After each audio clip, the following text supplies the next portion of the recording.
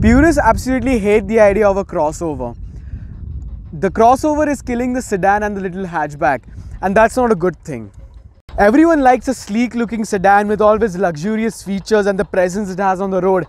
And we also like these little things, the hatchback, because it's so fun to drive around town and it has decent amount of power and it's so fun.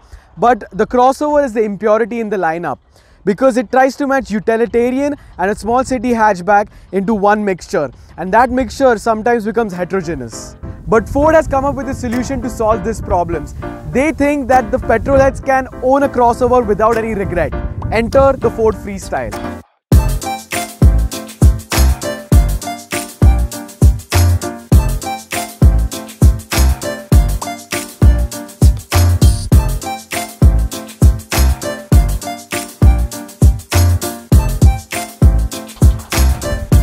So this is the 1.2 liter 3 cylinder engine of the Ford Freestyle and this engine is from the Dragon engine family which means even if it's 3 cylinders it produces an impressive amount of power and talking about power 95 bhp and 120 newton meters of torque that is a lot for a small car and a small engine. So this 1.2 liter engine has a really weird characteristic. This engine is like a diesel engine you have all of the torque very down low in the rev range. So The torque hits in which is 120 Newton meters, it hits in at 2000 RPM. And well, this engine also really doesn't like to rev out uh, especially being a petrol engine petrol engines love to rev out and this engine does not really like to rev out especially the red line given on the instrument cluster over here it is 6500 rpm this car starts to scream at the top of its lungs once you go over 4000 this car is really just a chilled out but a very capable off-roader. And when i talk about off-road i'm not talking about like jeep wrangler stuff. I'm talking about ma mainly like rallycross stuff which happens in group b probably something like that. Especially the terrain that i'm driving on right now this is the best terrain that this is the terrain that the ford freestyle was made for. And i have to say it really works. The ford freestyle is a beefed up a taller wider version of the ford figo which means it has a wider track. And you know what a wider track means right? It means better grip. And better grip means more confidence. More confidence means that you'll go faster off-road. you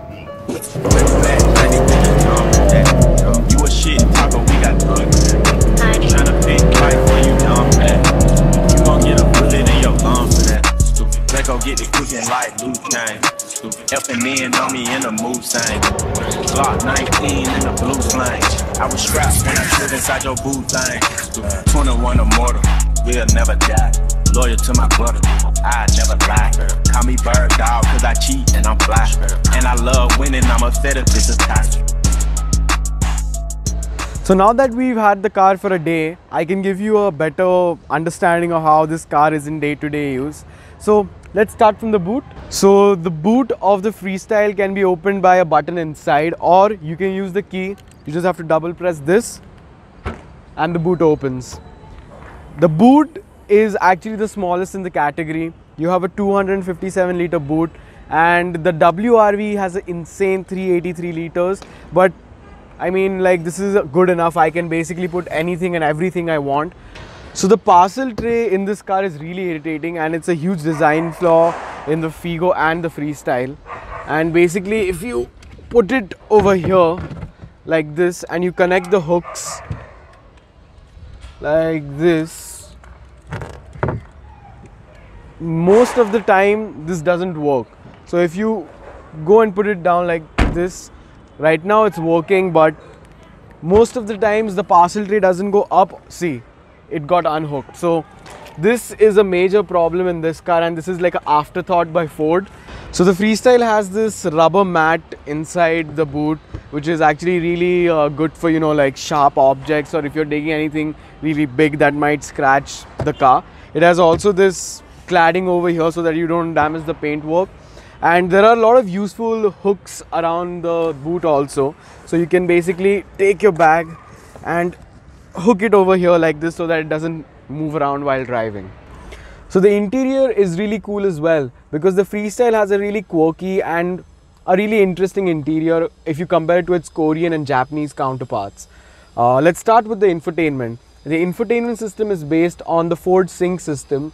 And the Ford Sync system in the beginning was a really horrible system with a negative one inch screen and a very weird user interface. Now you have a proper touch screen and you have all of the functionality in the world. You can do calls, you can change your tunes, radio, maps, Android Auto compatibility. That is just the सोचो surf- आप किसी company के office that is just the surface of what this system can do.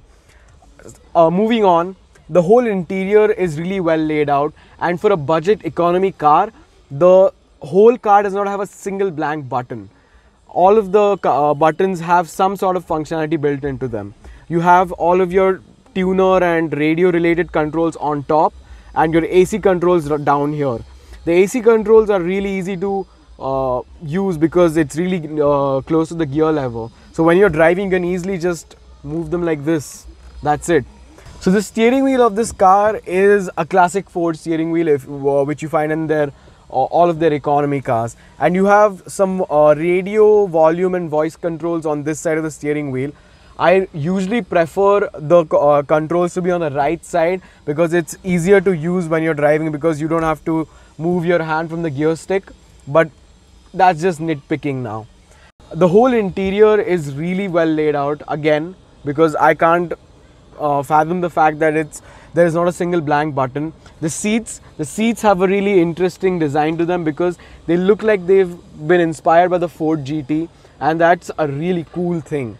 Um, you have a lot of cubby holes and a lot of space around the car. You have three bottle holders over here, uh, almost two on each of the doors, and you have a small cubby hole to keep your wallet or your phones and everything over there. You have some space over here to keep your key, uh, and yeah, it's a really good interior. It's Christian on the beat. beat. So let's get into the upshifts and the downshifts of the Ford Freestyle. Starting off, the suspension is really smooth and really comfortable.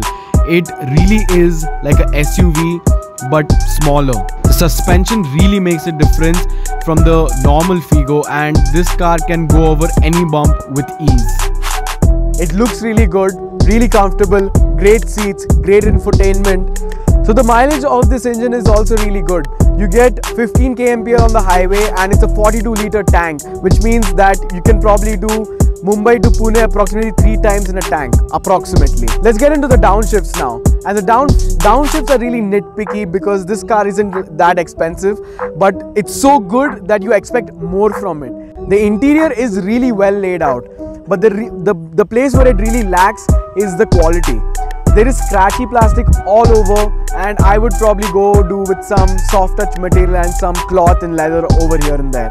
So the Ford Freestyle comes at 8.72 lakhs ex showroom in Pune, and for that amount of money, you're getting a lot of kit. And I would say this car is best in class compared to like the Hyundai and the Honda. So if you want a car that's really capable on any terrain, looks really good and has a lot of practical features and a good infotainment, the Freestyle is the best bang for buck car you can buy under 10 lakhs in my opinion. Thank you for watching this video. This car has been given to us by Talera Ford. This is just a shameless plug because they're really good people. And uh, like, share, subscribe. Tell us what you would buy in the segment. The i20 Active, the Honda WRV, which is a really bad looking and shitty car, uh, the Ford Freestyle, or should Volkswagen actually revive the Cross Polo? Let us now let us know in the comments down below.